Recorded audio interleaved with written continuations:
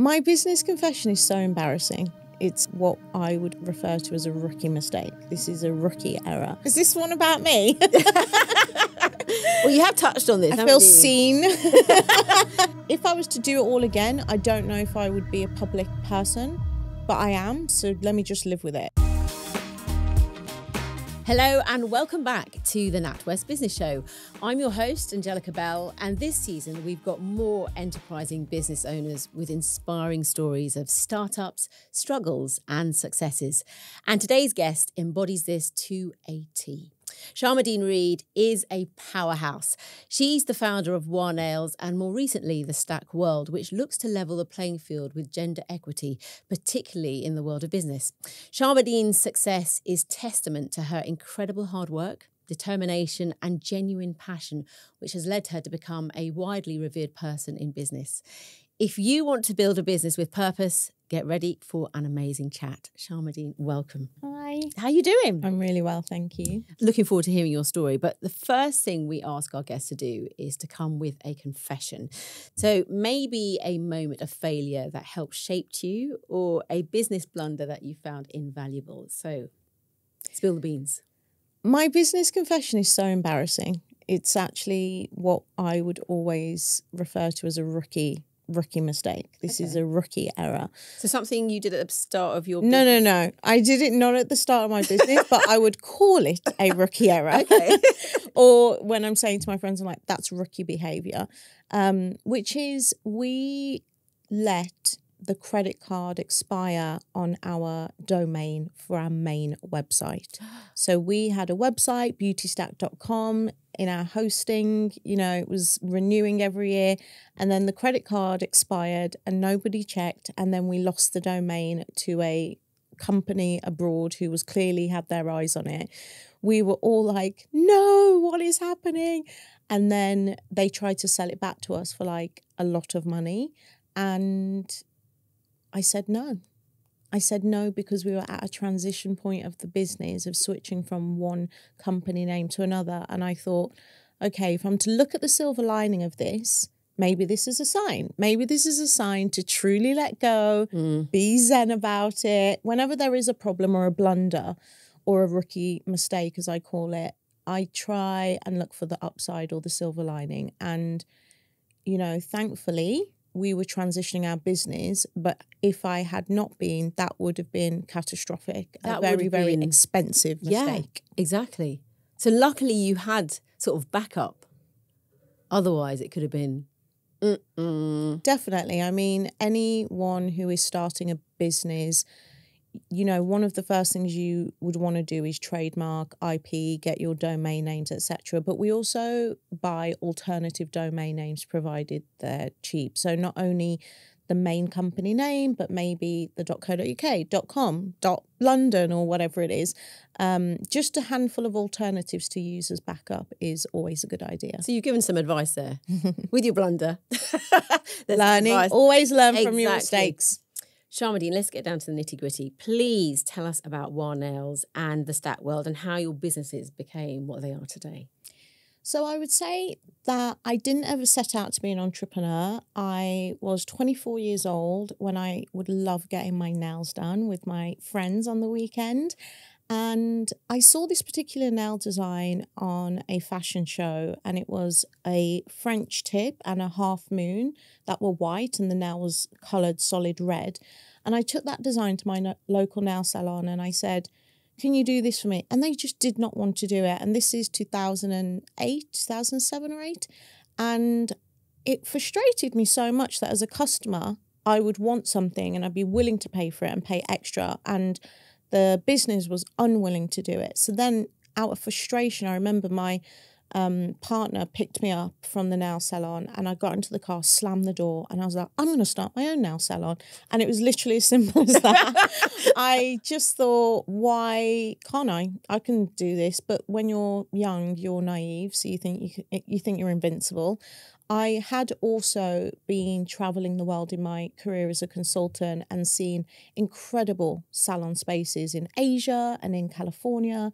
We would come back to London, and this is the era before flat whites, before um, social media, before majority people had iPhones even. So the world was quite different then. And I thought, why don't I bring this type of concept to London? And then my brain started just developing the idea more and more. The way that I operate mentally is that when I have an idea, it's almost like a little cloud and starts to like you know get bigger and bigger and bigger until I see it through almost to completion.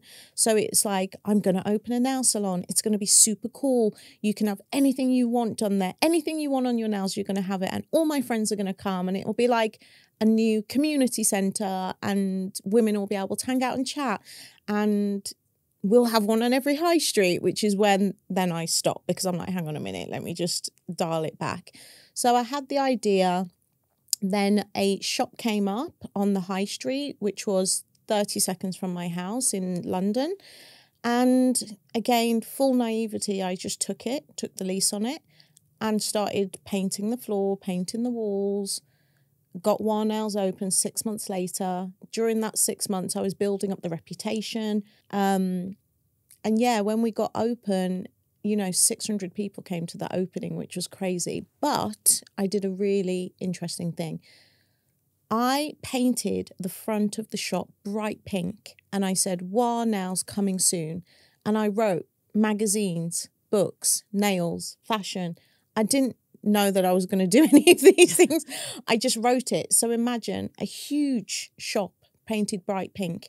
That means that everyone who went past that shop on the number 55 bus, which was the coolest bus, um, because it took everyone to fashion school in central London, everyone would see it from Yeah. the bus. And again, I, I wasn't being strategic in, in this method, but when I look back, I can see that that early willingness to tell people what I was working on before I'd finished it is what got the launch off the ground. You know, when you meet a friend and they say, Oh, I'm working on something, but I can't tell you what it is.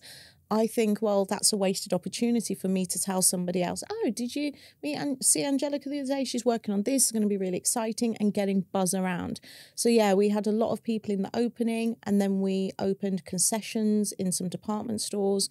And for 10 years, that space was a really incredible, innovative, game changing, inspiring space for a lot of the women in the area. Hot pink marketing. yeah. I love that. And it got the attention and built you. It must have given you a lot of confidence, especially when it was just an idea out of frustration. I think that the younger I was, the more confidence I had. As in, I don't remember not being confident. Actually, as I've gotten older, I've gotten less confident. Really? Yeah, and I think that would probably be an ignorance is bliss mentality. So, you know, I remember being three years old and being really confident at nursery school, like loving my life, feeling I could achieve and do anything. And then slowly, slowly, slowly, the more that you know risk, the more that you think about risk, the more that you have responsibility. So whether it's a family or a, or a home or you know, the more you think about how the system works and thinking, well, is the system pitted against me because I'm, you know, from Wolverhampton, I'm black, I'm a woman, you know, all of these things start then weighing and weighing on your on your mind. I would say that recognizing the challenges that can come um, as you become more aware of your situation is quite an important thing to do. But at the same time, how do you not let it hold you back? And that's what I think is really important. When I was 24, I didn't know things like licenses, council. If I'd known a checklist of things that could potentially go wrong, I might. I might not have done it. Yeah. So I do think a healthy dose of naivety or ignorance or just having pure passion and um, desire can at least give you that first bit of rocket fuel Mm-hmm. with which to propel yourself forward, I would say. Well, obviously, one is not enough. And you have gone on to gain more knowledge, which led to the stack world. So let's talk about that business.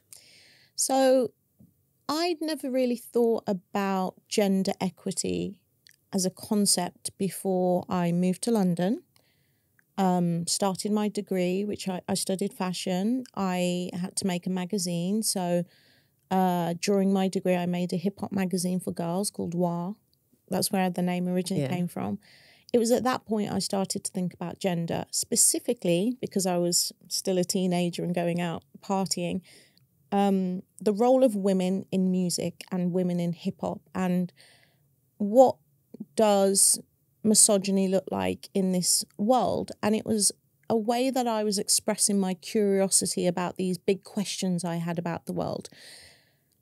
Through starting WAH, I became connected with other women globally. So I made a printed magazine and I put it on a blog, you know, back in the day. And a lot of women all over the world would email me saying, Can I have a copy? So I'd post them to Singapore, to LA. It was kind of crazy. I posted them everywhere. From there, I started to learn more about women's lives all over the world. And then through opening the salon, I got face to face contact with women, thousands and thousands of women over 10 years, every single day. When you are holding someone's hand while you're doing their nails and you're looking across from them and you have that FaceTime with a stranger for well over an hour, you start to pick up um, effectively data on what are the issues that women are facing today. One of the earliest issues I realized through being a business owner is around childcare. It never really occurred to me before that my employees wouldn't be able to work to their full potential because they didn't have enough childcare. And the balance of the cost of childcare with the cost of their earnings didn't make sense, you know, for them to work. Right. So this is when I started to understand and think about myself more, not just as a small business owner, but the responsibility I have to a, a macroeconomic environment and how the policies, the childcare policies that were, you know, being explored by the government at the time might not necessarily work down to someone who's sitting in front of me who wants to work more than 16 hours a week but can't because they're going to lose their benefits. So I'm starting to learn now more about my role as an entrepreneur of being a business owner and not just being someone who can do cool branding and do cool nails. Other things that came up were um, conversations about, you know, marriage or child, you know, not just childcare, but when to have a child, for example. So I'm being an empath and a sponge and collecting all of this information. And one of the things that I felt was missing from women's communities or women's media was being able to talk about issues, um, you know, like I said, like uh, whether it's work or family, all these different issues, in a way that wasn't just a tokenistic uh, feature next to fashion, beauty, and all of these different things that typically um, are in women's magazines. And then that's when I started to think about the stack world and what would a women's newspaper that initially I was thinking of a newspaper. I was like, what if I made a newspaper for women that actually had headlines that were kind of for women? So it was less about magazine journalism at the time and more about what would news look like if it, if it was women's news. And the reason for that is another thing I learnt um, in my salon is a lot of women were in um, abusive relationships, for example, and the most unlikely women, which started to make me think, well, this could happen to anyone. So if it is happening to anyone, where's the news about it? Uh, so I started thinking about the Stack World as a women's newspaper. However, I thought community is absolutely integral to a media organization that relies on subscriptions and you know reader subscriptions but they don't actually know anything about them. I was like how can i get as close as possible as close as i'm literally holding their hand in a nail salon? And the way that i do that is through community. So i built the community first. The stack world launched march 2021 as a platform where women could join attend events um, network with each other. We launch with editorial stories such as, you know, what it's like to be stalked, you know, what would it be like to go to sex therapy? How do I pre- prepare for a performance review? So, this combination of self development, like personal and professional development, we launched that. And then the community is now grown to 15,000 members in 32 countries. It's incredibly engaged. We have an amazing um, platform that people love and use. And now I'm thinking, how can I bring this into the workplace to effectively share the knowledge that I've got from my community with larger corporations who might have women in their ranks who are struggling with these issues but don't know where to turn or what to do and that's that's what we are doing for some of our clients now so your first business basically planted the seeds for your second one where you in a, in a weird way sort of in a really simple basic way you you had this sort of like you said this interaction with women but then with empathy like you say and also listening you could build up and find out what were the issues that were affecting women to, to build on that, which you want to grow even further. So, what lessons have you learned, Sharmadean, from being a founder of multiple businesses? This is a really important question and point because I, from age 12, wanted to be a creative director or a publisher or the head of some media organization. And it was only when I started my nail salon that my planned path started to go topsy turvy, started to go haywire. You know, 12 years old, I used to be obsessed with newspapers and magazines. Um, and I was like, this is the world I want to be in. I became this accidental entrepreneur, as I say, and it made me constantly question Am I doing the right thing? Is this what my company is meant to be? Is this the path I want to be on? Do I even want to be a founder? Do I want to lead people or run a company. And I would say for the last 20 years, my journey has been uh, you call it multiple businesses. I say it feels really random sometimes and that I'm starting things all the time. But what I would say is that there is a clear through line from when I was 19 all the way to today, which is telling women's stories and changing the perception of women in media or social media um, and helping other women see people like me and think, well, I could do it too, mm. or I feel seen, or I feel heard. So, for those who might be questioning, am I on the right path? I think that you can look at the past, at what you've done before, or what drove you, or what you were most passionate about, and you can plot this kind of trajectory of yourself and know that every single thing that you did helped you get to where you're going today. Because when i had the nail salon there was no there was no concept that i was like this is going to help me with the next thing. And I never thought that. I just was like going with the flow you know? But now i'm like yeah this all makes sense. But it doesn't feel like it makes sense when you're in it. But then it's easy to say that with hindsight, isn't it? Because if you're at the start and you have a goal and you think this is where I want to be, if it's a bit undulating or whatever, it can be unsettling for some people. Definitely. And I would say that constant self reflection of am I being inspired? Am I following my curiosities? Am I doing the things that make me feel in flow? like yesterday, I did a piece of work, and at the end of it, I told my friend, you know, that piece of work felt effortless because this is the thing I'm meant to be doing. This exact piece of work required no stress, no, you know, no anxiety. And it was a full day's work. And if I can do more of this, then I'm never having to work a day in my life. So just regularly having check ins. I do it twice a year. I check in with myself twice a year, uh, you know, December, January, and then May, June to look at what I'm interested in doing, what my passions are, what my purpose is, what my mission is, and being like, am I still on that right path? Because one of the things I would say for anyone who's building a business that's going really well, and that is getting loads of traction, is you have so many opportunities come to you. And I would say I said yes to everything. I was like, yes, I will fly to Tokyo and do a pop up nail bar. Yes, we will do a nail polish line. Yes, we will do a clothing line. We did a big clothing line that sold like crazy. I literally said yes to everything when it came to WAH. And I didn't really consider is this what I like doing? What I did do is treat it as a data gathering exercise. So I made a product line, you know, big product line in stores around the UK. And I was like, you know, I don't actually like making products. So then I stopped doing it. I was just like, I don't, I don't really like it. It's a cycle. Uh, it's a type of work I'm not that interested in doing. I did a clothing line, which I also loved creatively, but then I was like, mm, I'm not sure that this is for me either.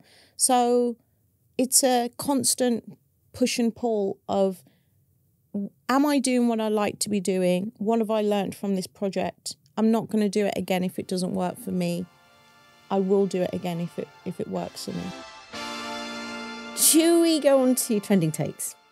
Now, our team have scoured the web um, for topics, tweets, and talking points to potentially create some contentious statements that I want to put to you.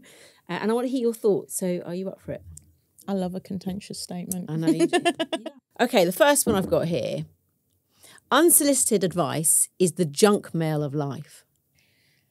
My take on that is not all advice is equal.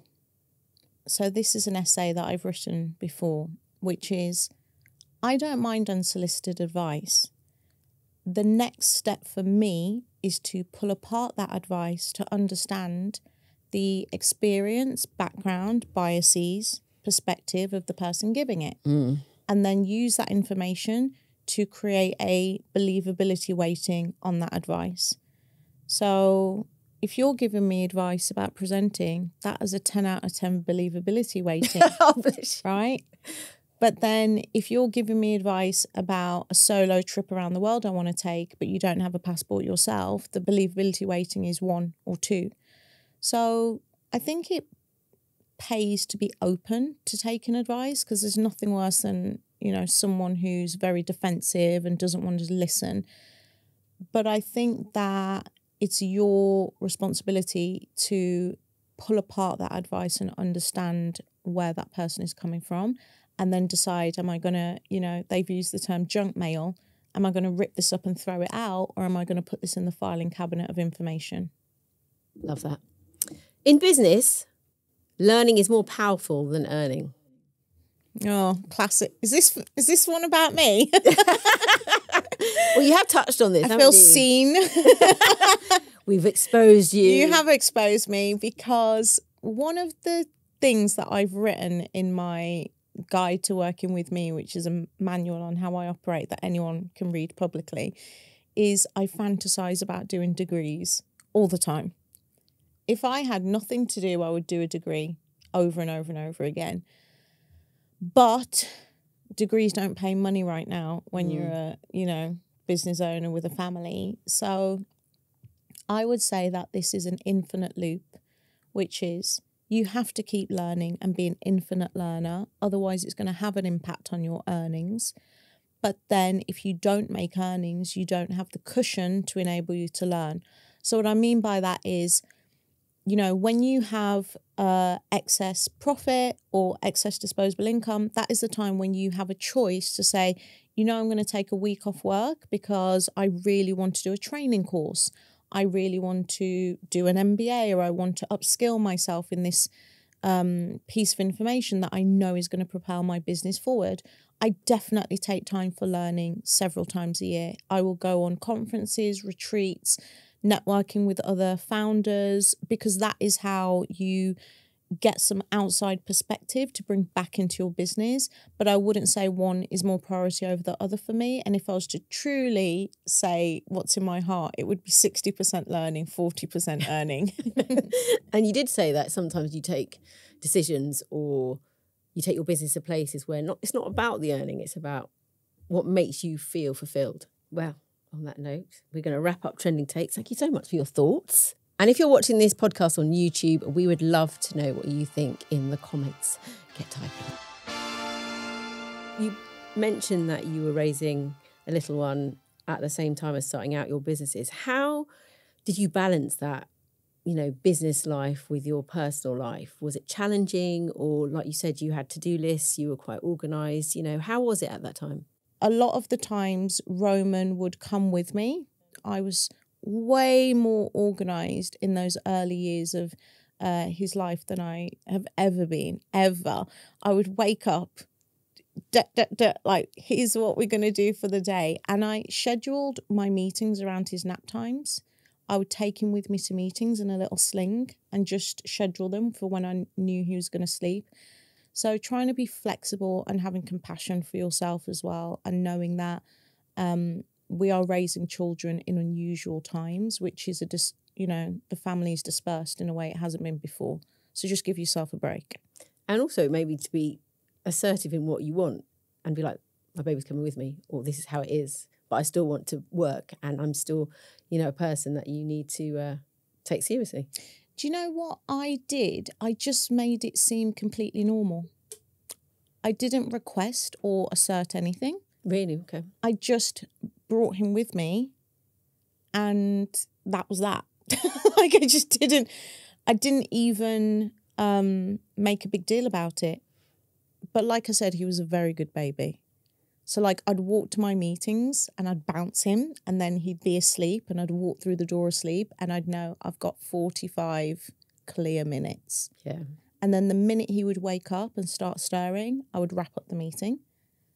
And it just made you more efficient. And I think any working parent can understand that there becomes an efficiency obsession. Um, the times when I always got it wrong was when I tried to do two things, when I tried to be a mom and have my head in work. And I just felt like my brain couldn't do both at the same time. And actually, I just disappointed everybody. So, understanding that there was a period between two and five when I really had to separate the two things. Prior to two, it was okay. Um, but there were many times when I was like, okay, not good um, behavior that I've done right now. And I'd have to re- reflect and be like, no, I'm going to do this with my son. And then I'm going to have my um, work time and then I'm going to do my work and just creating real uh, division between Yeah. that. And boundaries, setting boundaries for yourself.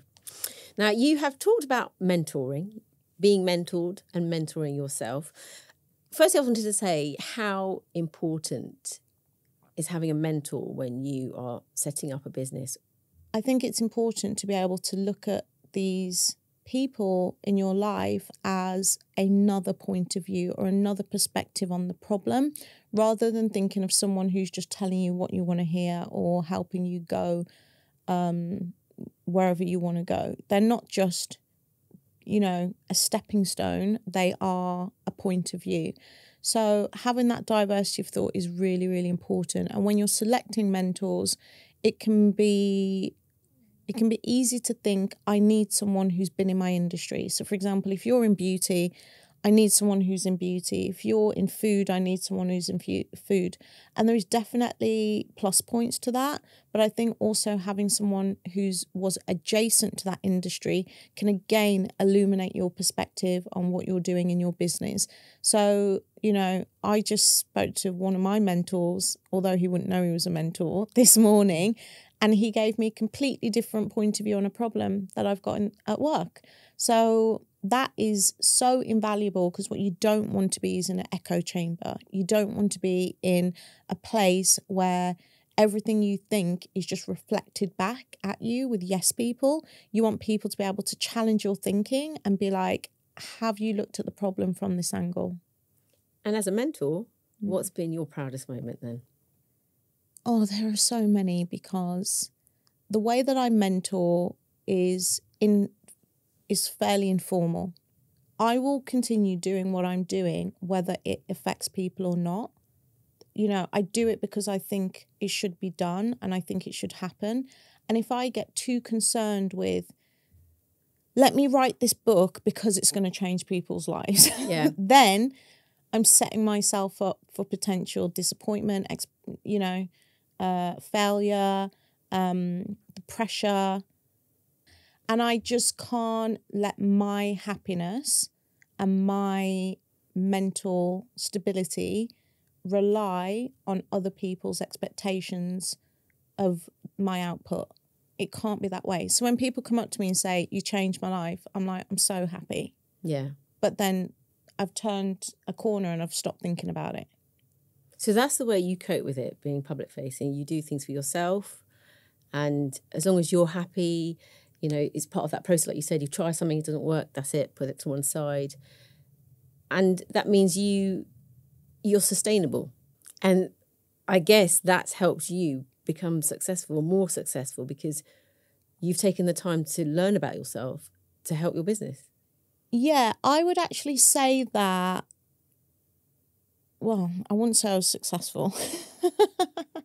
That's interesting because Not yet. No, come on. it's all about um, optics, though, isn't it? What people think. what I would say I've been successful at is being resilient, moving forward, not having big lulls in my work where I was confused or didn't know where I was going. Um, but what I would say is my personality type has definitely meant that I've taken a winding and a bit slower journey than most. And the reason I say that is because there are so many different types of business owners and entrepreneurs. And one example is introverts. I feel like introverts feel I can't run a business because I'm introverted or I'm shy or I don't have the confidence to get up and speak in public to my employees. But I just think that's not true. And I think that in this era that we live in, everyone can have the opportunity to have a go. And if we continue to box the vision of an entrepreneur in this very narrow field, we're not going to see the full potential of what we could be as a as a you know country as a world if we continue to make people think mm, it's not quite for me. So when I say my personality, what that means is creative. You know, I went to art school. I'm not like someone who did an MBA and then started a business. I'm way more creative. I'm way more mission driven. I'm way more socially impact driven um, than other business leaders that I know. And it just means when I mention that integrity of doing the right thing, I've often done the right thing to my detriment, but it makes me sleep well at night. So I think that how I view success is going back to what I said before is am I doing the thing that really drives me forward? And then can I make it into a commercially successful business? Well, you've given us some advice that you've received, but I wanted to ask you about the most important piece of advice you've ever got. Get out of the weeds. That was a piece of advice that I hated at the time. I thought it was so mean because I was the type of person, and I'm sure many business owners can relate. If I walked past a broken thing on the floor, I would go and fix it.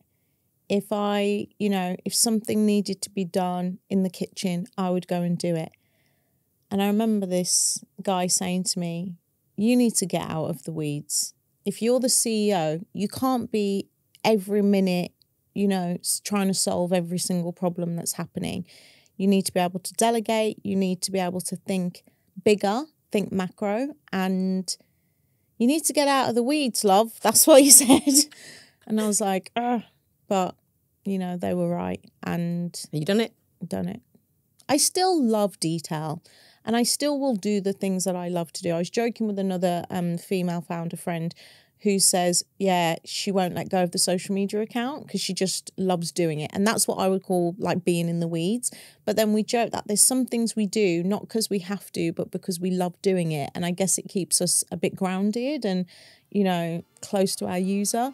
So get out of the weeds. Right. Shall we do some rapid fire questions?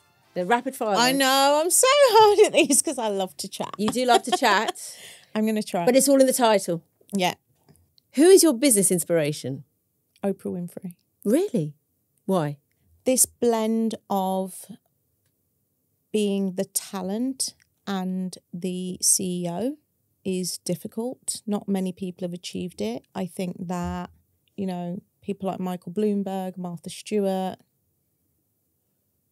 it's not easy to do to create a huge business but also be the front of it. I would prefer to not be the front of my business, but I feel that I'm in that trap now. You said it was rapid fire and you asked But I gave you. you know, I was literally going to say I gave you the. I gave you the scope you know, to expand. You know what I mean? Yeah, in, yeah. like, if I was to do it all again, I don't know if I would be a public person, but I am. So let me just live with it. But I always want to run a business. I don't want to be a talent. You know what I mean? Just Understood. forever. what advice would you give your younger self? It's okay, babes. Move on. What do you most enjoy about owning and running the Stack World? every single day women messaging me with a story of how we've had an impact on them. One thing nobody is talking about in business that they should be.